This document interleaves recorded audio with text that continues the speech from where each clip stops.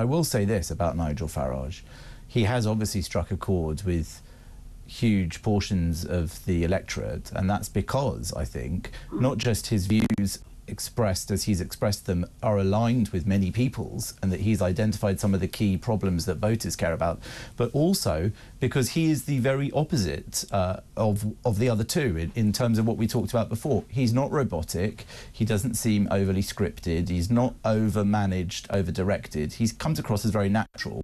And I think in that respect, that's also something which works very well as a politician. You can just go out, meet the people, talk with absolutely anyone, say things without thinking thinking too hard on what your messaging was from from head office. The guy speaks his mind, yeah. and I think that his mind is quite aligned in many issues with, with many many other people. So I think that's something that the other parties could learn from. And his influence has been as, as possibly the most successful politician of our generation, despite yes. not being an MP. Yes. I think his influence has always been as a campaigner and as a protester in a way.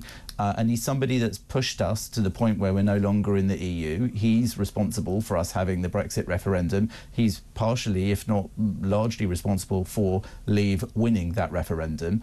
Uh, he now wants to be responsible for some of the decision making, or pressure at least on the decision makers, for how we reform Britain having left the EU. It's not been going very well so far, and I think that he it plays a very important part in our politics, even from the position of an outsider. So certainly I, am not dismissing him as a politician, but I am dismissing him as a political force in Parliament. I am dismissing reform as a political force in Parliament, and quite rightly, because so many of the candidates, for one reason or another, are problematic.